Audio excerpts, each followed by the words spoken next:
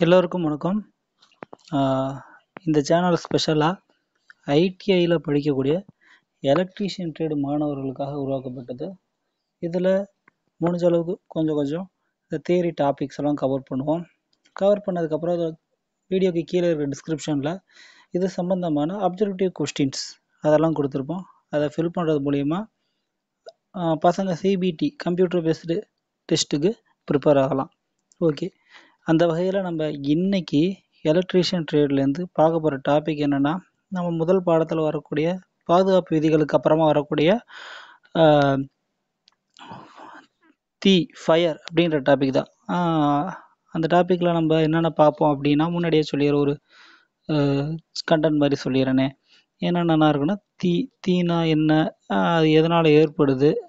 குறிப்பாக எலக்ட்ரிக்கல் சைடில் தீ எதனாலலாம் ஏற்படுது?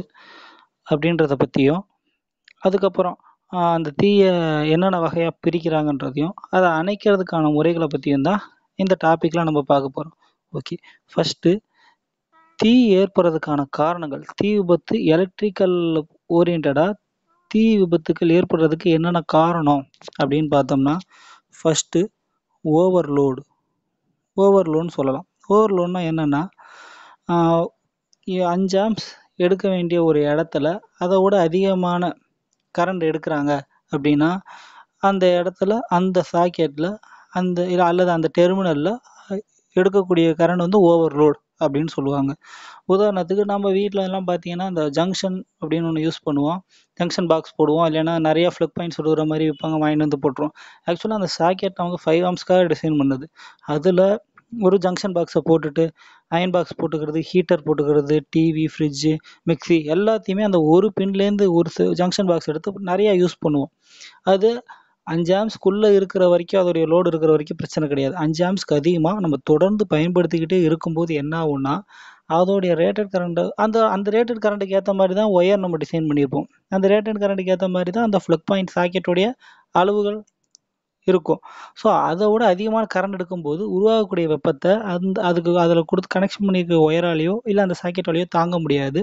ஸோ அந்த இடத்துல தீ விபத்து ஏற்படுறதுக்கான நிறையா வாய்ப்புகள் இருக்குது ரெண்டாவது முக்கியமான விஷயம் என்னன்னு சொல்கிறோன்னு பார்த்தீங்கன்னா ஷார்ட் சர்க்யூட் இந்த ஷார்ட் சர்க்யூட் இந்த ஷார்ட் சர்க்யூட்டுக்கு என்ன காரணம்னு பார்த்தோம்னா ஏதோ ஒரு இடத்துல தவறாக கனெக்ஷன் போயோ இல்லை உருகியோ ஃபேஸு நியூட்ரலாக டைரக்ட் நியூட்ரலும் டைரெக்டாகவோ அல்லது பேட்டரி வகையில் ப்ளஸ்ஸும் மைனஸும் டைரெக்டாகவோ டச் ஆயிடுச்சுன்னா அதுக்கு பேர் ஷார்ட் சர்க்யூட்னு சொல்கிறாங்க அது மாதிரி ஷார்ட் ஆகும்போது பக்கத்தில் எரியக்கூடிய பொருட்கள் ஏதாவது இருந்துச்சுன்னா தீ விபத்து ஏற்பட்டுரும். அப்புறம் மூணாவதாக பார்த்தீங்கன்னா லூஸ் கனெக்ஷன்ஸ் லூஸ் கனெக்ஷன்ஸ் இது வந்து ஒரு பெரிய தவறு. எலக்ட்ரீஷியன்கள் செய்யக்கூடியது ஒரு முக்கியமான பெரிய தவறு. அந்த தவறு செய்யக்கூடாது. கனெக்ஷன் சரியாக டைட் பண்ணாமல் இல்லை லூஸ் கனெக்ஷனை சரியாக கவனிக்காமல் அப்பப்போ அதை செக் பண்ணாமல் நம்ம விடுறதுனால அந்த இருக்கக்கூடிய ஏர் கேப்பில் ஒரு ஆர்க் ஏற்படும். ரெண்டு கனெக்ஷன் ஆக்சுவலாக என்ன ஆகும்னா கண்டினியூ முடியணும். அது முடியாமல் என்ன ஆகும்னா நடுவில் ஒரு சின்ன லூஸ் கனெக்ஷன்னாலே ஒரு ஏர் கேப் உருவாயிருக்கும். அந்த ஏர் கேப் மூலியமாக இந்த கண்டக்ஷன் தொடர்ந்து நடக்க ட்ரை பண்ணும்போது அதில் ஒரு ஆர்க் ஃபார்ம் ஆகும். அந்த ஆர்க்குனால என்ன ஆகும்னா தீ விபத்து ஏற்பட்டுரும். ஸோ அந்த லூஸ் கனெக்ஷன்ஸ்ன்றது பெரிய பெரிய தீ முக் மேக்ஸிமம் நிறையா தீ விபத்துகளுக்கு காரணம் இந்த லூஸ் கனெக்ஷனாக தான் இருக்கும். அந்த நாலாவது விஷயம் என்ன சொல்கிறாங்கன்னா earth leakage high current leakage so ஏதோ ஒரு இடத்து ஏதோ ஒரு சர்க்கியூட் ஒரு ஒரு சில இடங்கள்லாம் லீக்கேஜ் கரண்ட் இருக்கும். அதை தவிர்க்கவே முடியாது. அந்த மாதிரி இடங்கள்ல சுற்றி எரியக்கூடிய பொருட்களை வைக்கக்கூடாது.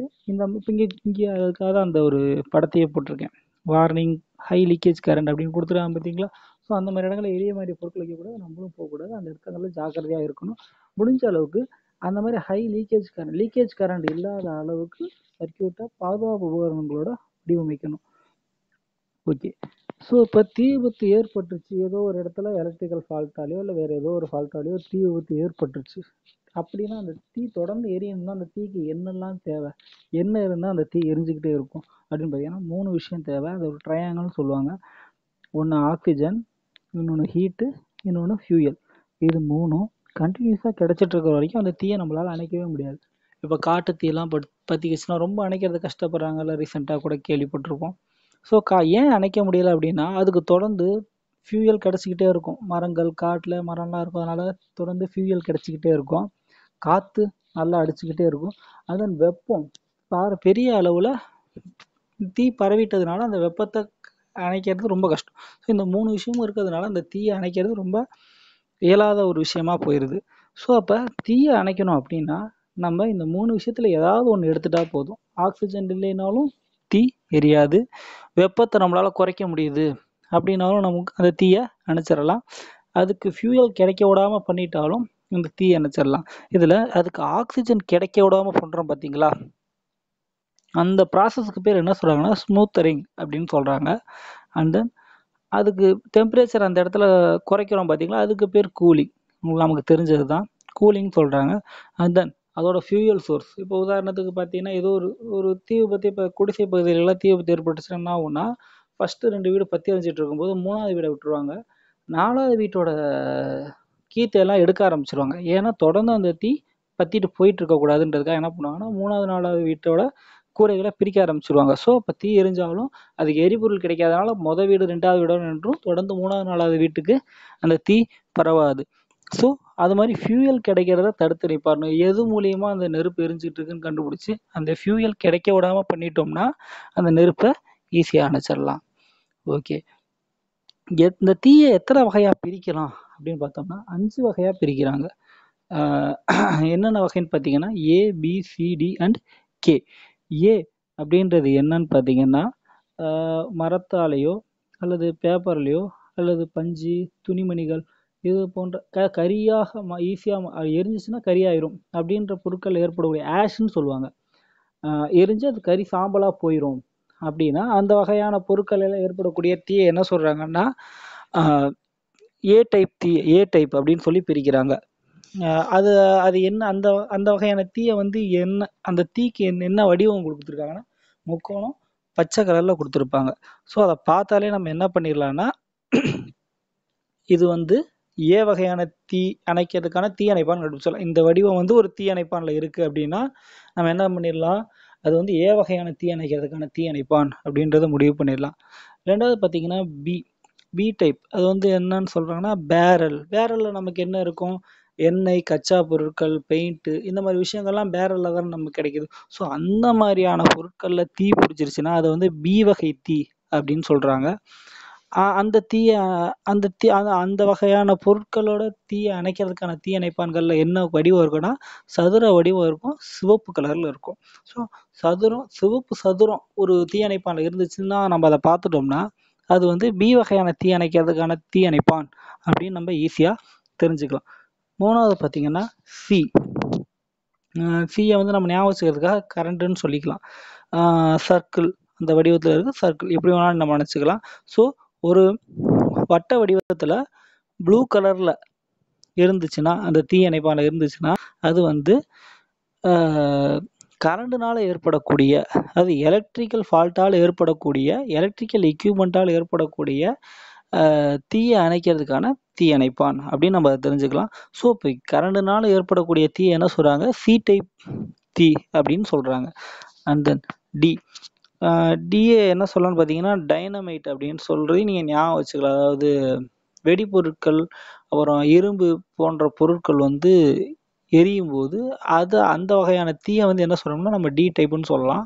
அந்த வகையான தீ அணைக்கிற தீ அணைப்பான்ல நம்ம மஞ்சள் கலரில் நட்சத்திர குறியீடை பார்க்கலாம். ஸோ மஞ்சள் கலர் நட்சத்திர குறியீடு ஒரு தீயணைப்பான் இருக்குன்னா அந்த தீயணைப்பானை பயன்படுத்தி டி வகையான தீயை நம்மளால் அமைக்க முடியும். And then K K type அப்படின்னால கிச்சன் கே ஃபார் கிச்சன் அப்படின்னு நம்ம வச்சுக்கலாம். ஸோ கிச்சனில் இருக்கக்கூடிய பொருட்களான எண்ணெய் கொழுப்பு பொருட்கள் இந்த மாதிரியான விஷயங்கள்லாம் எரியும் போது அதை வந்து கே வகையான தீன்னு சொல்கிறாங்க அந்த வகையான தீ அணைக்கக்கூடிய தீயணைப்பான்களில் இந்த அருங்கோண வடிவத்தில் கருப்பு கலரில் இருக்கும். அருங்கோண வடிவம் கருப்பு கலரில் இருக்கும். அந்த கருப்பு நிறத்தில் அருங்கோண வடிவம் ஒரு தீயணைப்பானில் இருக்குது அப்படின்னா அந்த தீயணைப்பான பயன்படுத்தி நம்ம இந்த கே வகையான ஃபய நெருப்பை அணைக்கலாம். அதுக்கப்புறம் பார்த்தீங்கன்னா தீயணைப்பானுடைய வகைகளில் இந்த மாதிரி போட்டிருப்பாங்க. எந்த தீயணைப்பானில் ஏ இந்த மாதிரி முக்கோண பச்சை கலர்லேயோ பி சதுர சிவப்பு கலர்லேயோ அல்லது சி வட்ட ப்ளூ கலர்லேயோ அல்லது டி மஞ்சள் நட்சத்திர வடிவத்துலேயோ அல்லது கே கருப்பு அருங்கோண வடிவத்தில் இருந்துச்சுன்னா இதில் எந்த ஒரு தீ அணைப்பான்லேயே ஒன்றுக்கு மேற்பட்ட ஏபிசி வகை தீயை அணை அணைக்கக்கூடிய வகை வகைகளும் இருக்குது ஸோ அப்போ அந்த தீயணைப்பானில் என்னென்ன குறியீடு இருக்கோ அத்தனை வகையான தீயை அந்த தீயணைப்பானால் அணைக்க முடியும். ஸோ ஃபயர் எக்ஸ்டிங்யூஷர் தீ தீயணைப்பான்கள் அப்படின்னா அதை பேசிக்காக ரெண்டாக பிரிக்கிறாங்க. ஒன்று வந்து பார்த்திங்கன்னா கேஸ் கேட்ரிஜ் டைப் இன்னொன்று வந்து ஸ்டோர்டு ப்ரெஷர் டைப் அப்படின்னு சொல்கிறாங்க ஸோ கேஸ் கேட்ரிஜ் டைப்பும் ஸ்டோர்டு ப்ரெஷர் டைப் எல்லாம் பார்க்கறதுக்கு பெரிய வித்தியாசம்லாம் ஒன்றும் இருக்காது. என்ன வித்தியாசம்னா இந்த ப்ரெஷர் கேஜ் தான் வித்தியாசம். இந்த ஸ்டோர்டு ப்ரெஷர் டைப்பில் பார்த்தீங்கன்னா இங்கே ரவுண்டாக குறித்து வச்சுருக்கோம் டயல் மாதிரி ஒன்று இருக்கும். அதில் ப்ரெஷர் கேஜ் இருக்கும். உள்ளே என்ன அழுத்தம் இருக்குது அப்படின்றது இருக்கும். அந்த அழுத்தம் பார்த்திங்கன்னா நடுவில் பச்சை கலர்லேயும் லெஃப்ட் அண்ட் ரைட் சைடில் வந்து சிவப்பு கலர்லேயும் இருக்கும். ஸோ அந்த பச்சையில் இருந்துச்சுன்னா முள் அந்த இதுக்குள்ளே ப்ரெஷர் இருக்குது அதை பயன்படுத்துறதுக்கு ஏற்றது ஒருவேளை அந்த முள் சிவப்பு நிறத்துக்கு லெஃப்ட் சைடோ ரைட் சைடோ போயிடுச்சுன்னா அதுக்குள்ளே போதுமான அளவு அழுத்தம் இல்லை. அந்த ஃபயர் எக்ஸ்டிங்யூஷரை நம்ம ரீஃபியூ திருப்பி ஃபில் பண்ணணும் அப்படின்னு அர்த்தம். ஸோ இது இந்த மாதிரி ஒரு ப்ரெஷர் கேஜ் இல்லை அப்படின்னா அது கேஸ் கேட்ரிஜ் டைப் இதுதான் இந்த கேஸ் கேட்ரிஜ் டைப் ஃபயர் எக்ஸ்டிங்யூஷருக்கும் ஸ்டோர்டு ப்ரெஷர் டைப் ஃபயர் எக்ஸ்டிங்யூஷருக்கும் இருக்கக்கூடிய வித்தியாசம். ஓகே ஃபயர் எக்ஸ்டிங்யூஷர் ஏதோ ஒரு இடத்துல நெரு நிறைய இடத்துல நம்ம இந்த ஃபயர் எக்ஸ்டிங்யூஷரை பார்த்துருக்கோம். பஸ்ஸில் பார்த்துருக்கோம் சினிமா தேட்டரில் பார்த்துருக்கோம் ஸ்கூல்ஸில் பார்த்துருக்கோம் காலேஜஸில் பார்த்துருக்கோம் நிறைய இடங்களில் பார்த்துருக்கோம். ஓகே ஒரு இது உண்மையிலே ஒரு எமர்ஜென்சி வந்துருச்சு. அந்த அதை அணைக்கணும் அப்படின்னா எப்படி அணைக்கணும்னு தெரியாதுல்ல. திடீர்னு கையில் கொடுத்துட்டு அதை வச்சு என்ன பண்ணுறது எப்படி அணைக்கிறது? ஆளு அதுலேருந்து தானாக வந்துருமா? அப்படின்னா ஸோ அந்த ஃபயர் எக்ஸ்டிங்யூஷரை வந்து பயன்படுத்துறதுக்கு பார்த்தீங்கன்னா ஒரு ஒரு ஒரே ஒரு வார்த்தையை நீங்கள் ஞாபகம் வச்சுக்கிட்டா போதும். பாஸ். இந்த வார்த்தையை ஞாபகம் வச்சுக்கிட்டிங்கன்னா இந்த ஃபயர் எக்ஸ்டிங்யூஷரை எளிமையாக பயன்படுத்திடலாம். ஸோ அந்த பாஸ் அப்படின்னா அதோடைய அர்த்தம் என்ன அப்படின்னா ஒவ்வொரு வார்த்தையும் தனித்தனியாக பிரிச்சுக்கணும். பிஏஎஸ்எஸ் அப்படின்னு பிரிச்சுக்கணும். அதில் பி அப்படின்ற எழுத்து எதை குறிக்குதுன்னா புல். புல்லுன்னா இழுக்கிறது. அதை தான் குறிக்குது. ஸோ புல் எதை இழுக்கணும்? ஃபயர் எக்ஸ்டிங்யூஷரோட மேலே பார்த்தீங்கன்னா அந்த நாவில் ரெண்டு கைப்பிடி மாதிரி இருக்கும். அந்த கைப்பிடியை அழுத்தினா தான் அதுக்குள்ளே இருக்கக்கூடிய தீ அணைக்கக்கூடிய பொருள் வெளியே வரும். அதை அழுத்த விடாமல் தடுத்துட்டு ஒரு பின் இருக்கும். அந்த பின்னு நம்ம வெளியே எடுத்தால் தான் நம்மளால் அந்த இதை ஸ்குவீஸ் பண்ணவே முடியும். அதாவது நம்ம அதனால் அழுத்தவே முடியும். அதை அழுத்தினா உள்ளே இருக்கக்கூடிய அந்த தீ அணைக்கக்கூடிய பொருள் வெளியே வரும். ஸோ ஃபஸ்ட்டு இருக்கக்கூடிய பி எதுக்குன்னா அந்த பின்னை வெளியே எடுக்கணும். புல் பண்ணி வெளியே எடுக்கணும். ஸோ புல் அப்படின்ற வார்த்தையை ஞாபகம் வச்சுக்கிறதுக்காக தான் பி அப்படின்ற எழுத்து கொடுத்துருக்காங்க. ரெண்டாவது A aim A for aim so எந்த இடத்துல தீ பிடிச்சிருக்கோ அந்த தீயை அந்த எய்ம் பண்ணும். தீயினா தீயோட மேல் புறத்தை எய்ம் பண்ணக்கூடாது. அடிப்பகுதியை எய்ம் பண்ணணும் தீயோடைய அடிப்பகுதியில் இருக்கக்கூடிய வெப்பத்தை நம்ம அழிச்சு அணைச்சாதான் தீயை நம்மளால் முழுமையாக கட்டுப்படுத்த முடியும். ஸோ தீயுடைய அடிப்பகத்தை எய்ம் பண்ணும். அதுக்கு தான் இந்த ஏன்ற வார்த்தையை நம்ம ஞாபகம் வச்சுக்கணும். Aim the nozzle at the base of fire அதுக்கப்புறம் எஸ் ரெண்டு எஸ் இருக்கும். அதில் மொதல் எஸ் நம்ம எதை எதுக்காக கொடுத்துருக்கோங்கன்னா ஸ்குவீஸ் அதாவது அந்த கைப்பிடியை அழுத்துறது. கைப்பிடியை அழுத்துறது மூலியமா உள்ளே இருக்கக்கூடிய தீ அணைக்கக்கூடிய பொருளை நம்மளால் வெளியே கொண்டு வர முடியும். பொறுமையாக அழுத்தினாலே போதும் அந்த லிவரை அது உள்ளே இருக்கக்கூடிய தீ அணைக்கக்கூடிய பொருளை வெளியே கொண்டு வரும். ரெண்டாவது இருக்கக்கூடிய எஸ் எந்த வார்த்தையை ஞாபகப்படுத்துனா ஸ்வீப் ஸ்வீப்னா கிரிக்கெட்டில் ஸ்வீப் ஷாட்டுன்னு சொல்லுவாங்களா நல்லா வளைச்சி பந்தை பின்னாடி தள்ளி விடுவாங்க பார்த்தீங்களா நம்ம டிராவிட்லாம் கூட நல்லா ஆடுவார். ஸோ ஸ்வீப் அப்படின்றதுனா பெருக்கிறதுன்னு கூட சொல்லலாம். அதாவது அதை அப்படியே வளைச்சி அப்படியே ஆட்டணும்னா நெருப்பு இருக்கு பற்றி எறியக்கூடிய இடங்களுடைய அடிப்பகுதியை நோக்கி நல்லா ஆட்டினோம்னா நமக்கு அந்த தீ உடனே அணைஞ்சிடும் ஸோ நம்ம நெரு தீயணைப்பானை பயன்படுத்த வேண்டிய ஒரு கட்டாயத்தில் தள்ளப்பட்டுட்டோம்னா நம்ம ஞாபகம் வேண்டிய முக்கியமான ஒரு வார்த்தை pass P A S S pull aim squeeze and sweep அதுக்கப்புறம் தீயணைப்பானுடைய என்னென்ன வகைகள்லாம் இருக்குது தீயணைப்பானில் அப்படின்னு பார்த்தோம்னா தீயில அஞ்சு வகை பார்த்துட்டோம். தீ அணைப்பானில் எத்தனை வகை இருக்குன்னு பார்த்தோம்னா அஞ்சு வகை. அப்படின்னா அதில் ஏபிசிடிகே தனித்தனிக்கும் ஒவ்வொன்றுக்கும் ஒவ்வொரு வகையா? அப்படிலாம் கிடையாது. இது வந்து ஒரு வகையே வந்து பார்த்திங்கன்னா ரெண்டு மூணு வகையான தீ அணைக்கிறதுக்கு பயன்படும். உதாரணத்துக்கு பார்ப்போமே. முதல்ல நமக்கு என்ன கொடுத்துருக்காங்க? வாட்டர் கொடுத்துருக்குறாங்க. தண்ணி இருக்கக்கூடிய ஒரு தீ அணைப்பான் இதை பயன்படுத்தி ஏ டைப் ஃபயரை மட்டும்தான் அணைக்க முடியும். அதாவது பார்த்திங்கன்னா ஆஷ் சாம்பல் வரக்கூடிய தீவு ஏதாவது பொருட்கள் இருந்துச்சுன்னா அதை மட்டும் தான் நம்மளால் அணைக்க முடியும். மரம் பஞ்சு துணி பேப்பர் இந்த மாதிரி விஷயங்கள்லாம் எரியும் போது அந்த தீயை அணைக்கிறதுக்கு நம்ம என்ன பண்ணலான்னா இந்த ஏ டைப் ஃபயர் எஸ்டிங்யூஷரை பயன்படுத்தலாம். ரெண்டாவதாக பார்த்தீங்கன்னா ட்ரை பவுடர்னு கொடுத்துருக்காங்க. ட்ரை பவுடர் ஃபயர் எஸ்டிங்யூஷரை பயன்படுத்தி நம்ம என்ன பண்ணலான்னா ஏ வகையான தீ பி வகையான தீ சி வகையான தீ. இது மூணுத்தையுமே அணைக்க முடியும். இதுக்காக இது ட்ரை பவுடரை பயன்படுத்தி ஆஷ் ஏற்படக்கூடிய தெரிவு ஆஷ் கிடைக்கக்கூடிய அந்த பொருட்களில் தீப்பட்டினாலும் நம்ம அந்த தீயை அணைச்சிடலாம். பேரல் கண்டிஷனில் இருக்கக்கூடிய கண்டி பேரலில் இருக்கக்கூடிய பொருட்கள் கச்சா எண்ணெய் பொருட்கள் இந்த மாதிரி பொருட்களில் தீ பிடிக்கும் போதும் அதை அணைச்சிடலாம். கரண்ட் கரண்ட்டுனால் ஏற்படக்கூடிய எலக்ட்ரிக்கல் ஃபயர்ஸ் அதையும் நம்ம இந்த ட்ரை பவுடர் இருக்கக்கூடிய அதாவது அது வந்து ட்ரை பவுடர் வகையான தீ அணைப்பானா இருந்தால் இந்த மூணு வகையான தீயை அணைக்கிறதுக்கு அது உபயோகமாக இருக்கும். அண்ட் தென் ஃபோம் ஃபோம்னா ஒன்றும் இல்லை நுர மாதிரி வெளியே வரும். அந்த தீ அணைப்பானை பயன்படுத்தி ஏ வகையான தீ மற்றும் பி வகையான தீயை ஈஸியாக அணைச்சிடலாம். அதுக்கப்புறம் பார்த்தீங்கன்னா சிஓ டூ டைப்புன்னு ஒரு கார்பன் டை ஆக்சைடு டைப் ஒரு ஃபயர் எஸ்டிங்யூஷர் இருக்குது இந்த ஃபயர் எஸ்டிங்யூஷர் எதுக்காகன்னா பி வகையான தீ இந்த என்ன லிக்யூட் பெட்ரோல் டீசல் இந்த மாதிரி பொருட்கள் ஏற்ப இதனால் ஏற்படக்கூடிய தீ விபத்தையும் and then electrical C type அதனால் ஏற்படக்கூடிய தீ விபத்துகளில் அந்த தீயை அணைக்கிறதுக்கு இந்த கார்பன் டை ஆக்சைடை பயன்படுத்துகிறாங்க and then wet chemical wet chemical அப்படின்னு சொல்லிட்டு இருக்குது அதில் நிறையா டைப் இருக்குது வெட் கெமிக்கலில் பார்த்தோம்னா நம்ம ஹாலன் டைப்பு அதுக்கப்புறம் சோடா ஆசிட் டைப் அப்படின்னு சொல்லிட்டு இன்னும் நிறைய டைப்ஸ் எல்லாம் இருக்குது ஸோ வெட் கெமிக்கலில் நிறைய டைப்ஸ் இருக்குது ஸோ அதில் அது எதுக்கு பயன்படுத்துகிறோம் அந்த வெட் கெமிக்கல் டைப்ஸ் அப்படின்னு பார்த்தோம்னா ஏ வகையான தீயவும் கிச்சன் ஃபயர்ஸ் இதில் எஃப்னு கொடுத்துருக்காங்க. ஆனால் ஆக்சுவலாக கே நம்ம பார்த்துட்டோம்ல. ஸோ கே வகையான தீ அணைக்கிறதுக்கு இந்த வெட் கெமிக்கல் தீயணைப்பான் பயன்படுது. ஸோ இதில் இன்னொரு முக்கியமான விஷயம் நம்ம ஞாபகம் வச்சுக்க வேண்டியது என்னன்னா வாட்டர் டைப் தீயணைப்பானை எங்கெல்லாம் பயன்படுத்தக்கூடாது? ட்ரை பவுடர் டைப் தீயணைப்பானை எங்கே பயன்படுத்தக்கூடாது? ட்ரை டைப் நம்ம மேக்ஸிமம் எல்லா இடத்துலையும் பயன்படுத்தலாம் பிரச்சனை கிடையாது. ஃபோம் டைப் எங்கே பயன்படுத்தக்கூடாது? And then carbon dioxide எங்கே பயன்படுத்தக்கூடாது? அப்படின்னா வாட்டர் டைப்பை வந்து நம்ம வந்து எண்ணெய் பொருட்கள் பற்றி எரியும் போதோ அல்லது எலக்ட்ரிக்கல் பொருட்கள் எலக்ட்ரிக்கல்னால ஒரு எலக்ட்ரிக்கல் ஃபால்ட்னால தீ விபத்து ஏற்படும் போதோ இந்த நீரை பயன்படுத்தக்கூடிய தீயணைப்பானை பயன்படுத்தக்கூடாது. என்ன ஆகும்னு உங்களுக்கே தெரியும். எண்ணெயில் தண்ணியை ஊற்றினா என்ன ஆகும்? எண்ணெய் வெளியே தான் தெரிக்கும் ஸோ அப்போ நம்ம மேலேயே பட்டு தீ விபத்து அதிகமாகிறதுக்கான வாய்ப்பு இருக்குது அண்ட் தென் கரண்டில் போய் தண்ணியை ஊற்றுனா ஊற்றுறவங்க மேலே திருப்பி ஷாக் அடிச்சிருமா? அதனால் நீர் வகையான தீயணைப்பான்களை கரண்டு மேலே கரண்டுனால ஏற்படக்கூடிய தீ விபத்திற்கோ அல்லது எண்ணெய் பொருட்களில் ஏற்படக்கூடிய தீ விபத்துக்கோ பயன்படுத்தவே கூடாது. அண்ட் தென் ஃபோம் டைப் அதுவும் பார்த்தீங்கன்னா ஏறக்குறைய தண்ணி மாதிரி தான் சொல்லலாம். அதுலேயும் மின்சாரம் கடத்துறதுக்கான வாய்ப்பு இருக்குது அதனால் கண்டிப்பாக அதை எலக்ட்ரிக்கல்னால் ஏற்படக்கூடிய தீ விபத்துகளில் பயன்படுத்தவே கூடாது. தீ அணைக்கிறதுக்கு பயன்படுத்தக்கூடாது அண்ட் தென் கார்பன் டை ஆக்சைடையும் என்ன சொல்கிறாங்கன்னா ஒரு வெளி ஓப்பனான பேஸில் பயன்படுத்தக்கூடாதுன்றாங்க கார்பன் டை ஆக்சைடை வந்து ஒரு வெட்ட வெளியில் பயன்படுத்தக்கூடாது அப்படின்னு ஒரு இது சொல்கிறாங்க அதாவது ஒரு ரூமுக்குள்ளேயோ இல்லை ஏதாவது ஒரு ஒரு குறிப்பிட்ட இடத்துக்குள்ளே ஏற்படக்கூடிய தீ விபத்துக்கு தான் என்ன பண்ணுன்றாங்க? இந்த கார்பன் டை ஆக்சைடை பயன்படுத்தணும். கார்பன் டை ஆக்சைடு வகையான தீ அணைப்பான பயன்படுத்தணும்னு சொல்கிறாங்க